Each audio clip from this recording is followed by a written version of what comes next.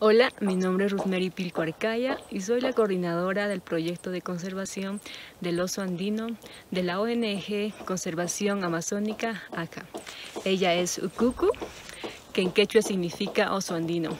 Ella actualmente está siendo entrenada para detectar las heces del oso.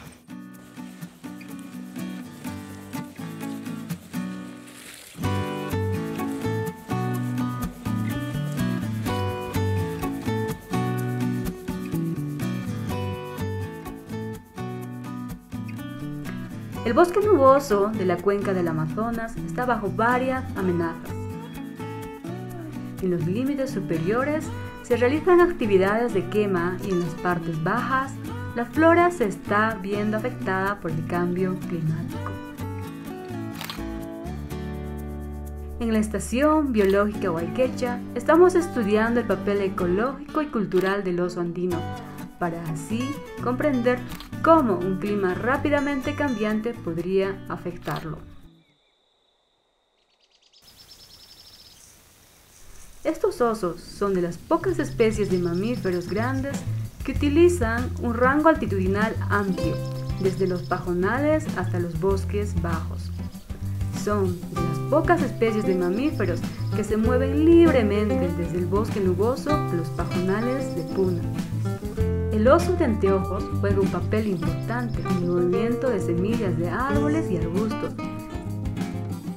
El cambio climático está obligando a la flora y la fauna a trasladarse rápidamente. No sabemos aún con exactitud qué pasará con los osos andinos. Nuestro equipo es muy diverso y está conformado por voluntarios, estudiantes y miembros de comunidades de la parte alta del Parque Nacional del Mano.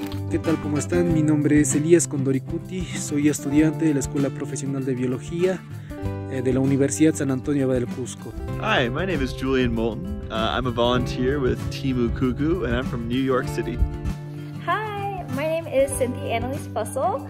I am a volunteer here working on the Spectacled Bear Research Project and I am visiting from Miami, Florida. نقصتي مناش لحظة قومس سنجام لحظة Ana Kaila Melo. Maimanta. Panchubamba. Hola, buenos días. Mi nombre es Juan Lino Quispe Huiza. Soy de Pilcopata y estoy apoyando con la instalación de trampas para el oso. Comprender los movimientos migratorios de los osos y su interacción con las personas y el cambio climático es clave para el desarrollo de estrategias de conservación. Para comprender cómo los osos y otros vertebrados utilizan diferentes hábitats y elevaciones en diferentes épocas del año, estamos realizando un estudio altitudinal a gran escala, para lo cual realizamos una serie de expediciones remotas. Nuestro área de estudio se compone de tres tipos de bosque. La puna en las áreas de alta elevación desde 3.850 metros hasta la altura de la línea de árboles de 3.450 metros. El terreno de la puna es abruptamente ondulado y montañoso. En este tipo de bosque se encuentran parches de bromelias y arbustos de la familia Ericacea, que forman parte esencial de la dieta del oso. Descendiendo en altitud, la puna es reemplazada por una zona de transición de arbustos de 0.5 a 2 metros de altura. Por debajo de la zona de transición se encuentra el bosque nuboso, donde el sotobosque tiene pocos arbustos y plantas herbáceas. Aquí, los árboles están adornados con epífitas y la mayoría de las ramas están cubiertas de musgo.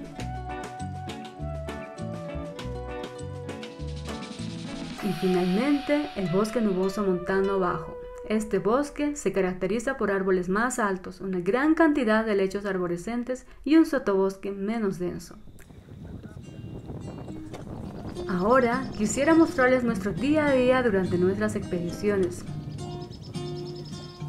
De acuerdo al tipo de bosque donde nos encontramos, acampamos en carpas o en hamacas.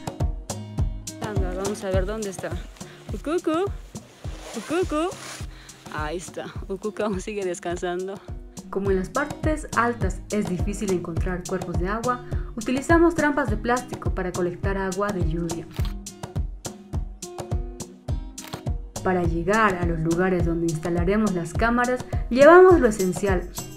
Algunos caminos son fáciles mientras otros, en especial en el bosque nuboso, son todo un reto. No siempre hay suelo firme, a veces tenemos que caminar sobre raíces o un colchón de musgos. La comida es esencial y donde nos toque acampar cocinamos a leña.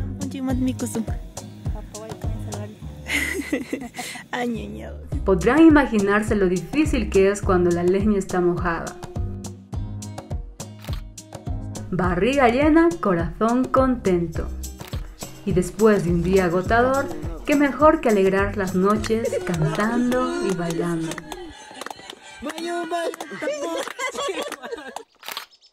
Durante nuestras expediciones y a lo largo de nuestras estaciones biológicas, estamos instalando cámaras trampa desde los 3800 hasta 900 metros sobre el nivel del mar. Y estas cámaras estarán funcionando a lo largo de todo el año. Acá los chicos están trabajando. Hello. Here we are setting up camera number 45. We leave these cameras for several months and they take short videos when their motion sensor is triggered by an animal. After we collect the SD cards, we categorize all the species as well as identify the individual bears seen using their facial markings. De la misma forma, a lo largo de esta gradiente, estamos estudiando la dieta del oso a través de la búsqueda de fecas y restos de plantas consumidas por el oso y ser identificados tanto por métodos tradicionales y a través de análisis de ADN. Así, podemos identificar las especies de plantas más importantes para la supervivencia de los osos andinos, para después emplear estas plantas en otro proyecto de regeneración del bosque nuboso amazónico en las comunidades aledañas de la parte alta del Parque Nacional del Manu. Es así que este año estaremos reforestando con más de 75.000 árboles nativos que son alimento del oso. Gracias a los osos andinos tenemos bosques. ¡Que vive Lucucu!